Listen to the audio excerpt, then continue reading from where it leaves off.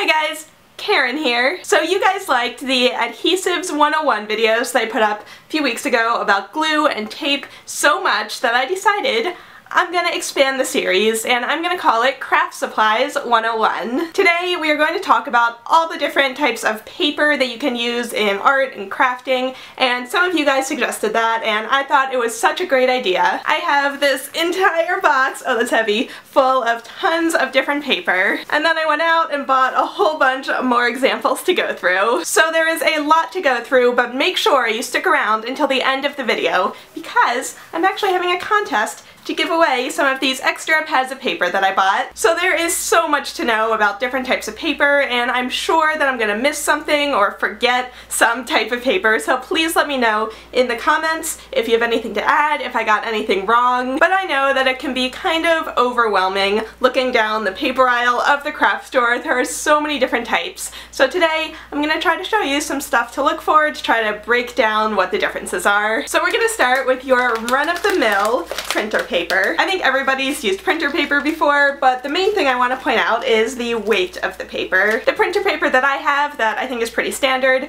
is 20 pounds or 75 grams per square meter. Basically, the US has to, of course, make everything as complicated as possible. So pounds is the US system, but that number could refer to either thicker cover paper or thinner text paper. There are kind of two scales that sit next to each other, whereas the grams per square meter, or GSM, is just one scale across every type of paper. How they assign those numbers is a little bit complicated, so I'm going to link to a few articles in the description that kind of go through that and explain it. But for the purposes of this video, I'm going to go with the international system, the grams per square meter. So all you have to remember is that the higher the number, the sturdier the paper is. So tracing paper is is 40 GSM. Printer paper is 75. This cardstock that I have is 175. And this really thick mixed media paper is 300. So pretty much every pad of paper will be labeled with the weight. In the US it's both pounds and the GSM. So that's just one thing you'll definitely want to look at when you're choosing the type of paper for your project. So the paper that I use really often in my crafting is cardstock because it's cheap.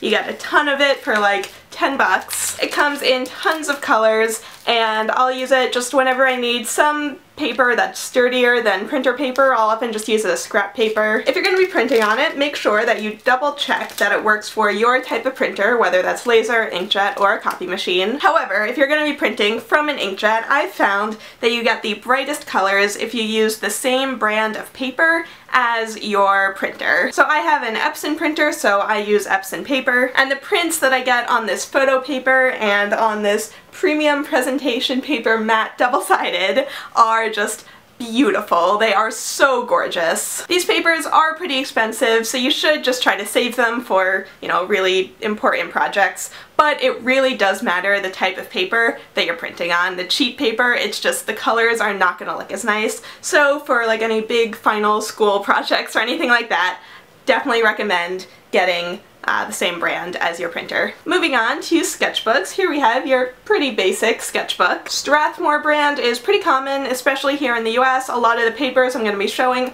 are from that brand. This video is not sponsored by them. I just think they make really good quality products and they're really easy to find, at least here in the US. So one thing that I like about them is that all of their pads of paper have a brief description on the front of what it's meant to be used for. So this sketchbook is meant for practice of techniques or quick studies with any dry media. It's acid-free, medium weight, and lightly textured. So this is just kind of a good all-purpose paper for practice projects or quick sketches, anything that's not like a final project. And it is 89 GSM, so it's slightly thicker than printer paper. There's also the drawing pad, which is similar to the sketch pad, but it's meant for finished artwork in dry media, which means no watercolors, no paint, just like charcoal markers, things like that. It's a good all-around paper. It's medium surface, medium weight, so any sort of drawings that you want to do, not including painting, uh, this is a good choice. So a lot of the other art papers that I have are actually pretty specific with their uses,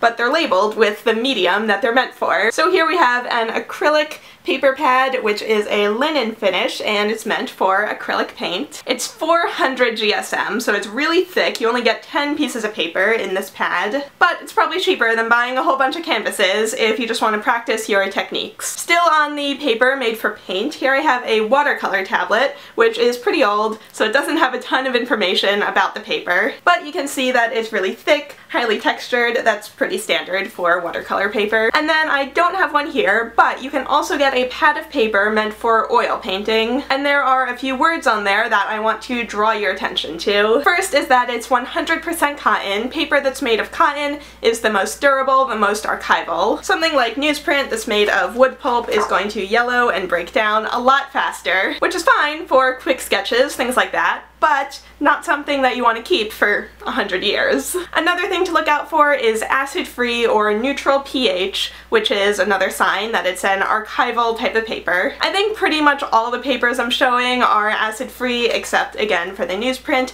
It's pretty standard, it's not something that's hard to find, just something to kind of look out for. I also want to bring up cold press versus hot press, which you'll also see for things like illustration boards. Neither one is better or worse than the other, they're just different. Basically, cold press will be a lot more textured, while hot press will be a lot smoother. This is something to keep in mind if you're working with charcoal or watercolors or anything where you really want to show texture, because cold press will be better for that, whereas hot press is better for markers or ink, or if you're going to be scanning your work because it'll pick up more detail because it's a lot smoother. So moving on, I've already mentioned newsprint a few times, but it's the same type of paper that newspapers are made of, only without any ink printed on them. It's a really thin paper, only 52 GSM, which is less than our printer paper, but it's super cheap and charcoal is like butter on it. If you take a drawing class, you'll probably use newsprint for quick studies or like initial concept building,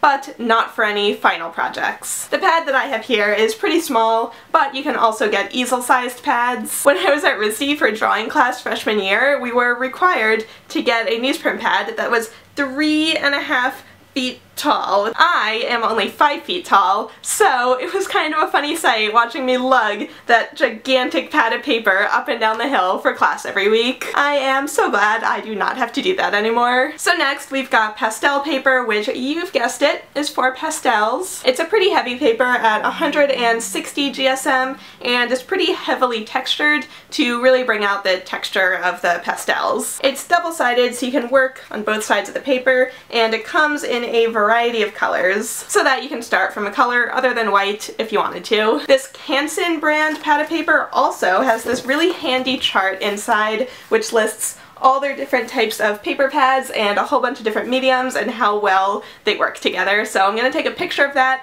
and put it in the description for you to reference if you want to look at it any closer. And it's pretty similar to the pastel paper, but you can also get a padded paper specifically for working in charcoal. Charcoal also works great on like mixed media paper and stuff like that, so you don't have to invest in a specific paper for it, but if that's your top medium of choice, you know, it's there if you want it. Speaking of which, we've got mixed media paper, which this one has a vellum surface, which basically just means that it has a medium texture. You might sometimes see the paper saying plate surface, which would mean that it's ultra smooth, or like this Bristol does, it'll just say smooth surface. The mixed media paper is good for wet and dry media and it's archival so you can use it for finished artwork. This is a good choice if you work in a big variety of mediums and you don't want to buy a specific paper for each one. Then I also picked up this toned tan notebook which is basically just a sketchbook but with tan pages for when you want to build up both your lights and your darks instead of working from white. Moving on to our thinner papers, we've got tracing paper. I ended up with two pads of this. It's a really thin paper that you can see through if you want to trace things. I think we've all used tracing paper before. It's not acid free, so it's not meant for archival projects, but if you need to trace something and you don't have a light box, uh, tracing paper is your best friend. Slightly more opaque than that is marker paper, which You've guessed it, is perfect for markers. The main selling point is that the markers don't bleed through the paper and the colors show up really well. I'm trying to think about why I own this, why I had to buy it in school, because I didn't do a ton of marker projects, so if you use marker paper for anything other than markers, let me know in the comments because I'm not entirely sure why I own this. I haven't actually used it in ages. But if you work in markers a lot, um, you'll, you'll want one. Next we've got vellum, which is pretty translucent and kind of plastic-y. It's great for working with pen and ink. The ink just sits on it beautifully. And then the thinnest paper of all is tissue paper, which you generally don't write on because it can rip really easily. It's mainly used for wrapping presents and craft projects. It comes in a ton of colors and you can usually find it on really good sales right after major holidays. I think this white tissue paper, which isn't even all that I got, I think I got it for less than a dollar after Christmas. And then if you want a paper that's completely transparent, you can get printable transparencies, which originally were used for old school overhead projectors, but you can also print on them or draw on them and cut them up to use in craft projects like I did in this book that I made while I was at RISD. Moving on to thicker paper, we're going to start with Bristol. Bristol is a really high quality paper meant for finished artwork. The one that I got is a smooth surface meant for pen and ink, but you can get it in tons of different textures and finishes. You can also get Bristol boards, which are finished on both sides and are a little bit thinner than an illustration board. An illustration board is only finished on one side. It's great for scanning or anything where you really want to be on like a solid board and not just a piece of paper. And then we've got museum board or mounting board. This is one of my favorites. I use it all the time. It mostly just comes in neutral colors because it's often used to mat a photo in like a picture frame, but I like to use it because the edge is the same color as the board and it's double-sided and um, it comes in a bunch of different thicknesses. So you can use it in a ton of different craft projects. So when you're buying boards like this, especially at places like Michael's, they'll tell you whether it's hot press or cold press and what mediums work best on it. So the whole system is a little bit foolproof. You don't have to go in and like memorize a ton of different stuff. So besides your fancy pants art boards, you can also get chipboard, which is just a non-corrugated cardboard. We have foam core, which comes in a whole bunch of different weights, usually in very large boards. It always has a layer of foam in the middle, so it doesn't roll up. It's really sturdy. We've also got poster board, which I'm sure everybody has used at some point in their life. It's just a poster-sized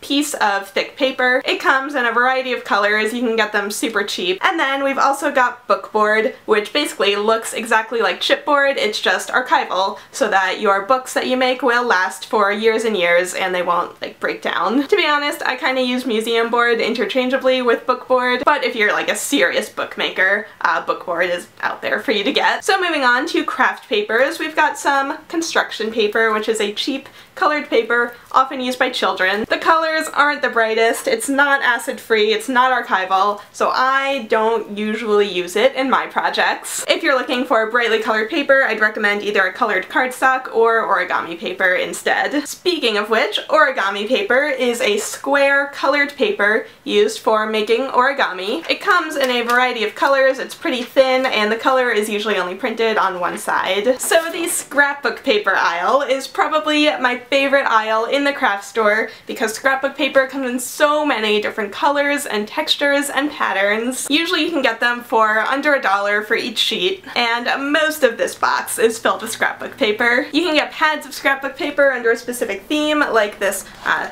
Christmas themed one or you can buy it by the sheet and it's usually about the same weight as cardstock just with fun patterns printed on it. But if you want a lot of one pattern, you can get wrapping paper, which obviously is used to wrap gifts. It's usually a bit thinner than scrapbook paper, but these days lots of companies are making some really nice patterns, like this silver wood grain that I got from Target last year. You can of course also get drawing paper and newsprint on rolls if you think you're gonna need a ton of it, or maybe if you work at a school. I just don't have any because I don't go through it that fast. So speaking of school, I think we all used graph paper in math class. It's pretty cheap just another kind of fun texture that you can incorporate into your crafting. You can also get marbled paper, which is often used in the front and the back of books. And palette paper is a pad of paper used to make a temporary paint palette. This one doesn't have it, but sometimes they'll have a hole in the middle so that you can hold it like an old school painter. Then we've got sticker paper, which you can print on, and it has adhesive on the back, so you can cut it into whatever shape you want to make custom stickers. We've got sandpaper, which is used to sand down a rough surface.